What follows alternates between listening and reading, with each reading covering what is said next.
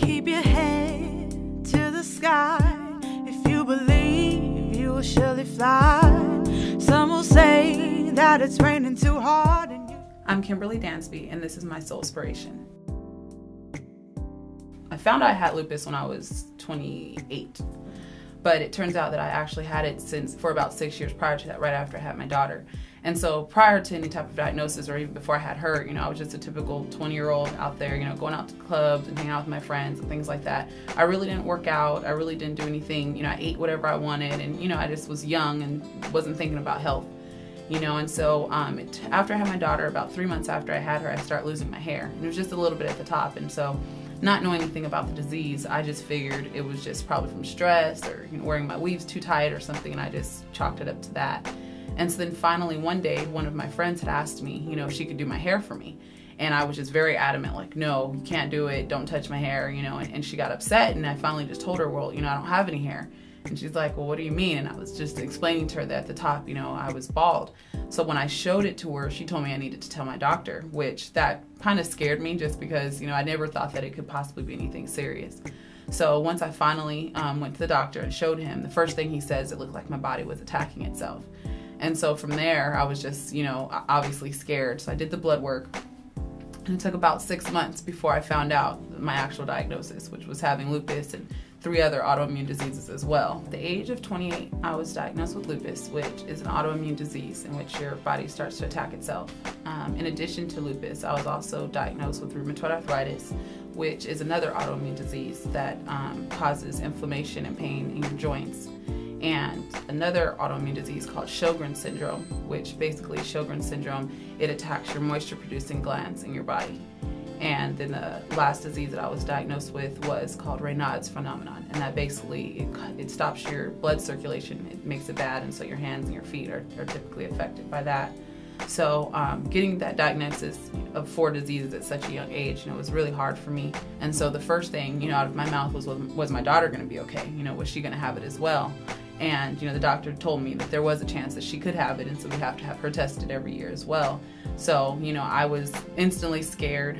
One day I just started crying, and I asked my boyfriend at the time, you know, I was like, can you just cut my hair?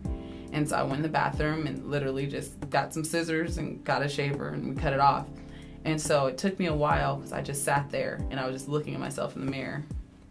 And I just started crying and I'm just like, wow, like this is who I am now, you know? And but then it was like at the same time it felt empowering because it felt like I cut the rest of it off, not that the disease took it away from me. And so from there, I literally put on some makeup, and funny thing, I posted on Facebook. I felt safest there because that was where most of my friends and family were on there. And I got so many responses of people just embracing it and, you know, telling me I look pretty and I look beautiful. And, and that really meant a lot to me just because it was like, for years of having the fake hair on my head, I never felt pretty. But then finally, I was able to just look and see myself and then I was able to feel pretty for once and it was actually just me and so I was able to believe it because people finally saw me. I think the hardest person, even more so than my daughter and even more so than my boyfriend at the time, um, was telling my mom just because, you know, she had lost a child years before I was born and then she waited so many years to have me and so then it just felt like, man, you know, I don't want her to lose another child.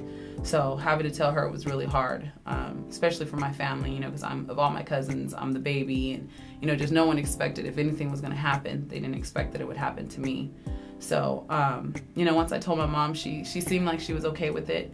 But then after about a year, I realized that she wasn't. You know, she had formerly been on alcohol and drugs and stuff, and she didn't go back to drugs, but she it caused her to want to start drinking again. And you know, just the thought of trying to be strong for me so that I wouldn't feel like you know I was alone, and so she was trying to be there for me, but then it ended up deteriorating her. I think in some ways it's made us a lot closer, um, but then at the same time, it also kind of doesn't just because now I feel she was already overprotective and she was already sheltering and so now it's even more so you know and now it's like if I don't answer the phone if, if the second time she's at the house or she's you know constantly calling she worries a lot more.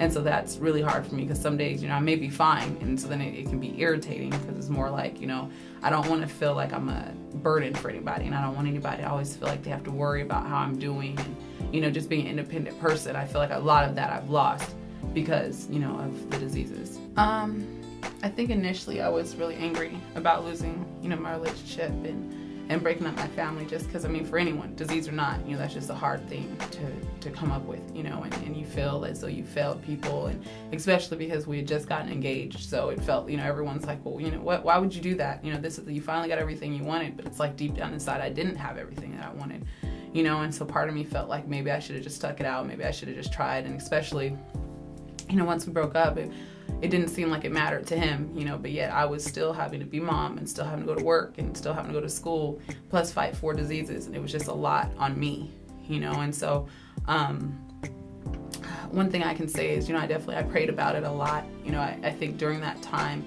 it, it forced me, for lack of a better term, to get closer to God because I felt like that's really all that I had.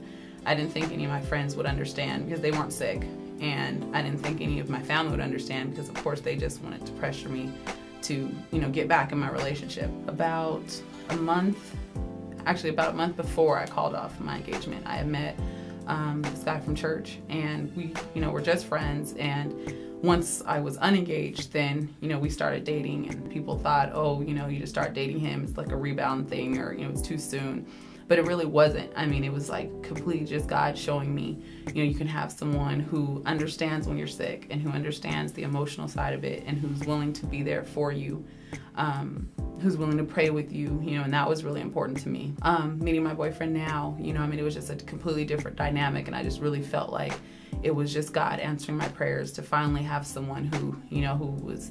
I guess accustomed to being around people who were sick. So he, you know, he knew what to say. He knew how to comfort me. Um, he made me feel beautiful, but at the same time, I already finally had gotten to a place where I felt beautiful myself. Um, and it, it, really just changed the breakup of the previous relationship for me because I didn't feel weak and I didn't feel as though I let everyone down. If anything, I felt stronger and I felt more empowered that I finally made a decision for me and something that was going to be best for me and my life. My first seizure, I really don't remember a lot about it just because, you know, from the seizure but it was one of those things to where um, I had a grand mal seizure, and um, which is like the worst kind that you can have, where I completely was unconscious, completely lost um, control of my faculties. I, you know, I was just it was like one minute I went to sleep, and the next minute I had paramedics over me asking me questions. So um, I got rushed to the hospital, and they couldn't figure out what was going on. They couldn't figure out why um, I had seizures. So I didn't, I wouldn't, I wasn't admitted. I stayed for a few hours. They gave me some pain medicine because I had bit through my tongue, and they just sent me home. And so um, that was kind of scary, just because after that, I mean, I was scared to drive. I was scared to go to sleep because it happened in my sleep. Um, I was scared to do anything really because I was like, you know, at any given moment, I could just have a seizure. I had my second seizure um, grand mal seizure as well. Um, and so after that one, they, you know, I stayed in the hospital, and then they they were able to see that I had inflammation in my brain, and that's when I was diagnosed with lupus cerebritis, which is basically lupus attacking your brain, and it causes inflammation in your blood vessels. And so from there, I have to take um, anti seizure medication because they're afraid that the inflammation is going to um, progress, and then I'll eventually start to have strokes. So it was just another added thing to have to be scared of happening, you know, and, and it's just hard because having these diseases that are exacerbated by stress, you know, and then you're stressed out that you're going to get sick, you know, it's just hard to, to counter that.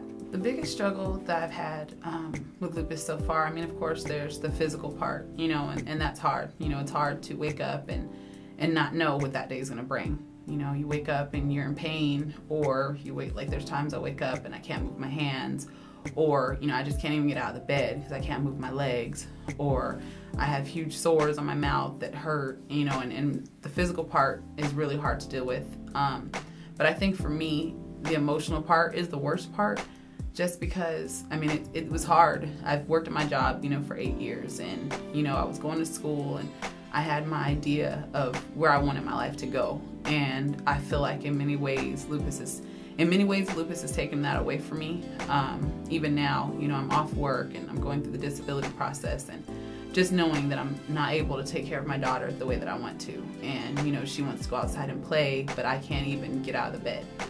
And, you know, she's hungry or, you know, she always asks me, she wants to do a mother daughter day, and I can't. You know, I, I'm, I can not afford it because I don't have enough money, or I just can't move and I'm in so much pain, you know, and it's it's really been hard for me because it's forced her to grow up so much faster than I feel like she's had to.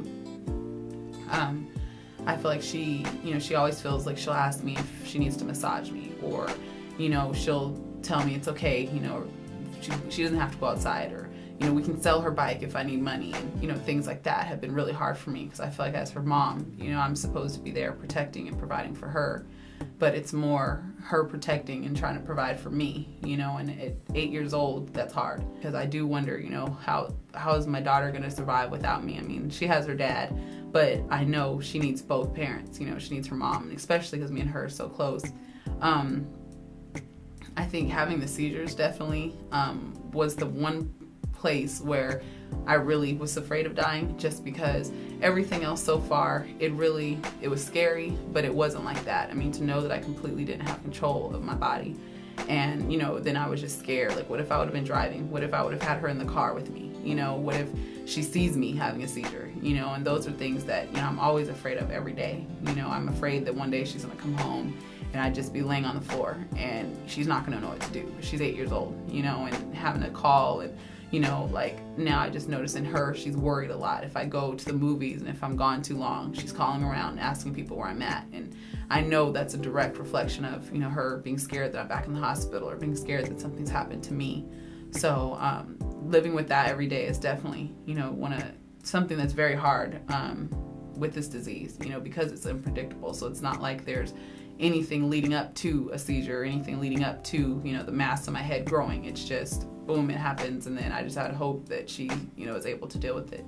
There's like no words to explain how much I love her. You know, I think everything that I've gone through since I've been diagnosed, it's all because of how much I love her. You know, it's like I wanted to graduate college. I wanted to, you know, I started my foundation and you know, I I wanted to make sure that every holiday is memorable and, you know, that all so that she, you know, in the event that something does happen to me, she'll have those memories with her mom.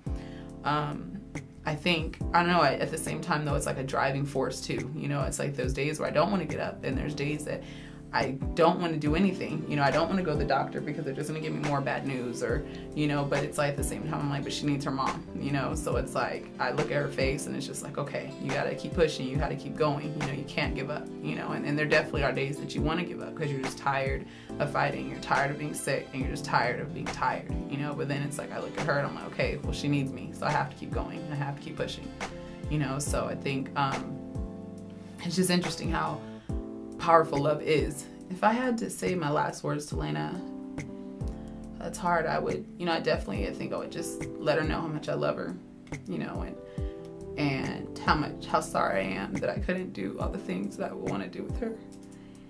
And uh, I would definitely let her know, you know, just how important it is to have a relationship with God and just, you know, keeping God first. And because it's like there's hard things that happen in life. And the only thing that has gotten me through is knowing that there was a plan and there was a reason for you know everything that's happened. Um, you know i just i want her to be strong and i want her to understand like the importance of school and just being good to people and always helping people even if you're not going to get anything in return. And even if you have to go out of your way to do that for people because it's worth it you know i think in life we encounter so many people who only really think about themselves and those typically are the people who are the most miserable, you know, because then when things happen to them, they don't know how to deal. And for years, I was that type of person, you know, I just really only cared about my family and, and my friends, and that was it, you know. And so then it's like, it took this, it took disease for me to get it together and to really see the importance of life and and what is important, you know. And I just, it's like if I can buffer her from having to go through any of the mistakes that I went through to get to this place of finally understanding, then you know I would just definitely tell her that just to stay focused on what's right and just to maintain you know having a good heart and just being a good person to people because that's what people are going to remember.